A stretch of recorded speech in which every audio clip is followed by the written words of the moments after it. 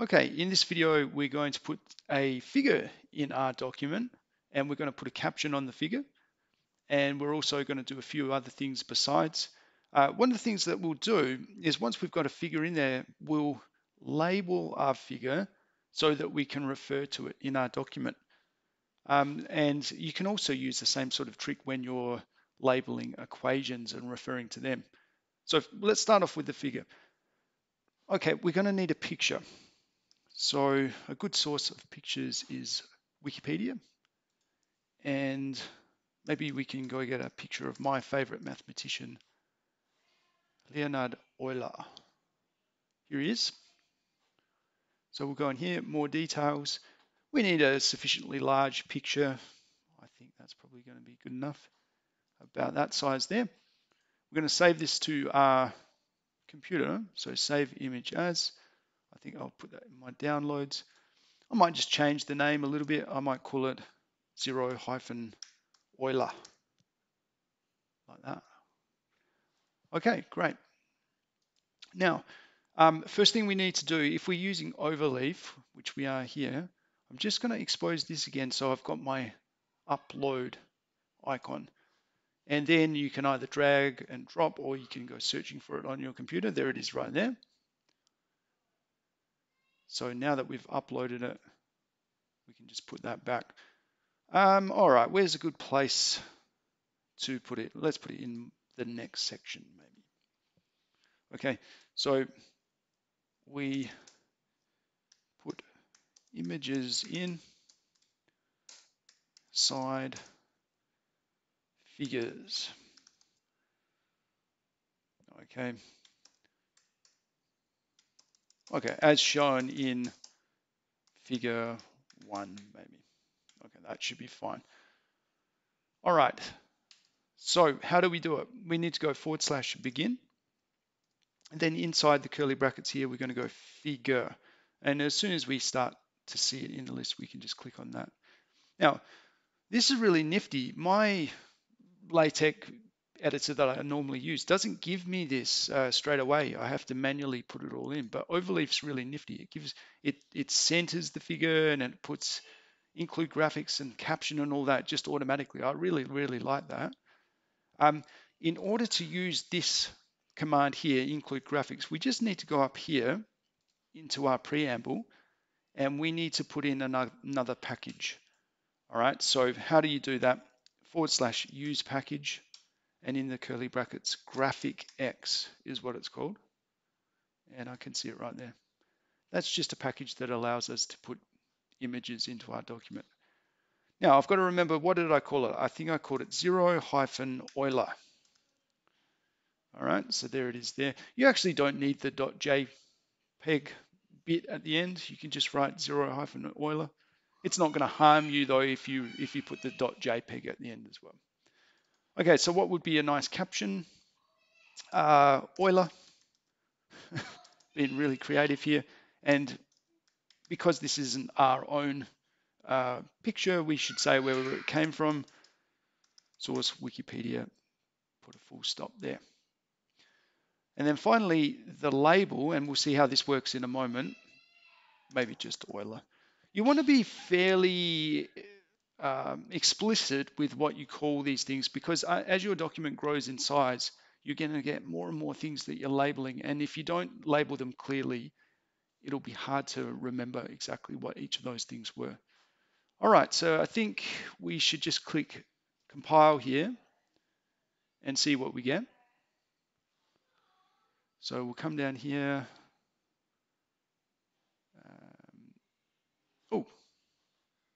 Do we have a an error? The float is too large. Okay, fair enough.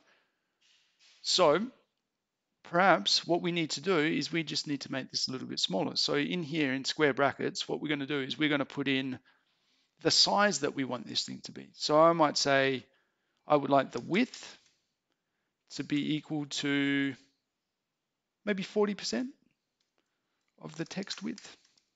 I'll start with that as a as my first guess, and then we'll go from there. So let's compile and see how we go. Oh, still looking pretty big, isn't it? Uh, now where is it? Oh, it's actually not too bad. I think we got lucky there. That seems to be about right. So that's one of the things that you can do. You can say, I want it to be a certain width with re relation to the text width, or you could have uh, another way that I like to do it is to do it in terms of scale. So we could just scale it down to 10% of what it started at. Some people like to work that way. So that's 10% of the size. Obviously, if we go to 100% of the size, that's going to be a little bit too big. Um, but you will see. Where's it going? Oh, there it is. yep, way, way too big. But in this case, I like width. So 40% of the text width, like that. That seems good. Okay, now um, one sticking point I think when you're getting started with this is where LaTeX places the figures. Um, it sort of decides for itself and it says, oh, I think that's a good place to put it. There's a few things that you can do to force its force it to be in a certain spot. So you can see that this figure here has appeared above the text we put images inside figures. Whereas in the code, we've got we put images inside figures before the figure. So to kind of force it where you want it, you can put square brackets here and you can say H, H for here.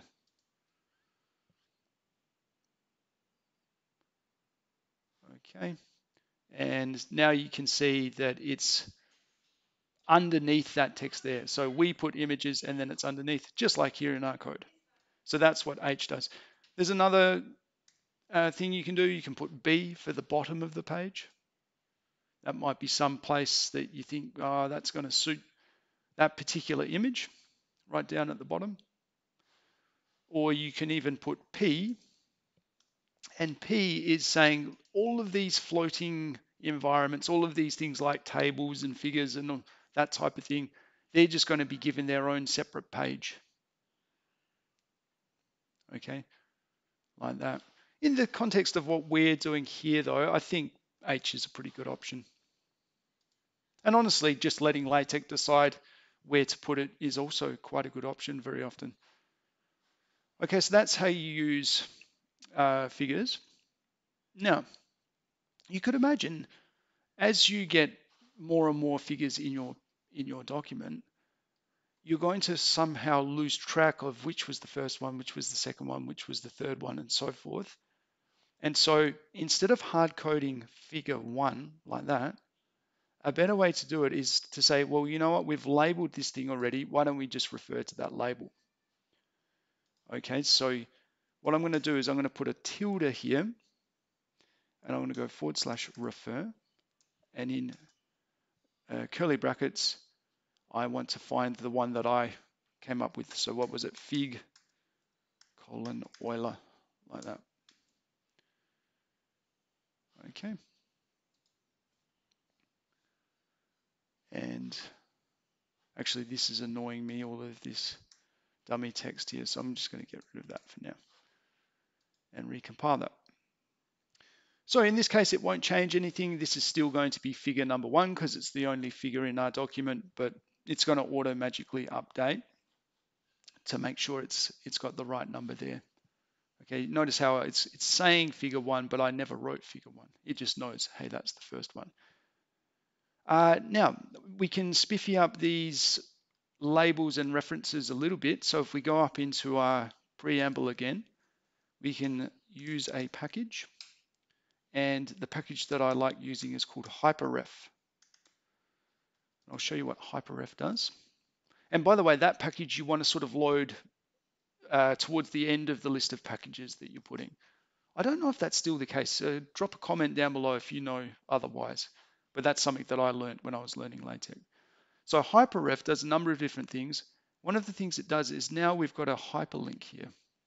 So this is clickable, which you know, isn't particularly useful here because the figure and the reference to the figure are, are right next to each other. But you can imagine if they were separated out quite a bit, then uh, that wouldn't be the case.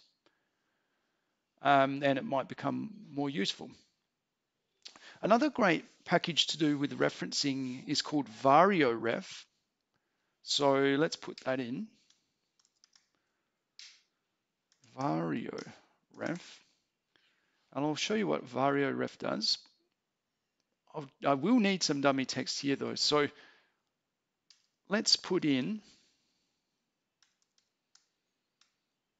quite a bit of like paragraphs 2 to 17, perhaps, of this dummy text from Immanuel Kant. And I'll explain why. What I'm trying to do here is I want to make sure that we have our reference to figure one and then a whole bunch of text before we actually see figure one. Because remember, we're using the H command to say, please put it here. And it's saying, okay, fine, I'll put it after all of that dummy text there. Now that we've got Vario ref loaded, instead of referring to this, we can put vref. And I'll show you what that does.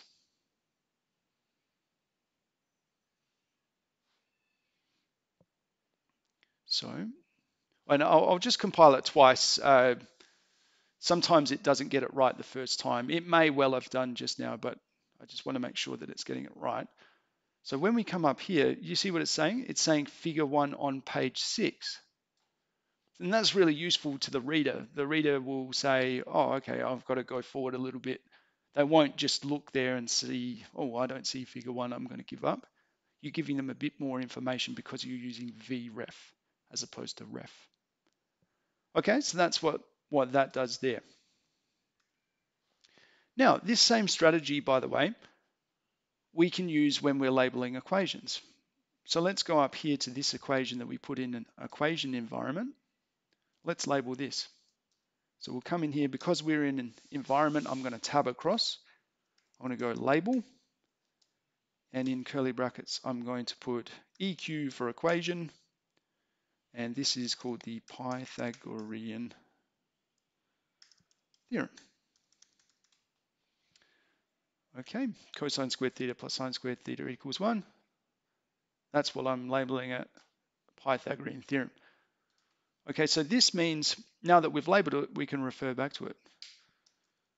Equation, okay, tilde, ref, and then we've got a call on that thing, so there it is theorem is known as the Pythagorean theorem. Okay. And again, you can use a vref there. Uh, there's nothing stopping you. In this case, I, I don't feel like using a vref. I'm just going to use an ordinary ref. And you see what, what's happened here. I've got a hyperlinked thing going to equation one, and it just knew that it's equation one just because it's the first equation that we've put in our document. But as that changes, our reference to that label is also going to change. So it might end up being equation 100 for all I know. It depends how, how long our paper is. So this is a very, very powerful technique when you're using LaTeX, labeling things and then referring to those labels um, so that things automatically kind of do the heavy lifting for you without you having to worry about things. Okay, that's enough for this video.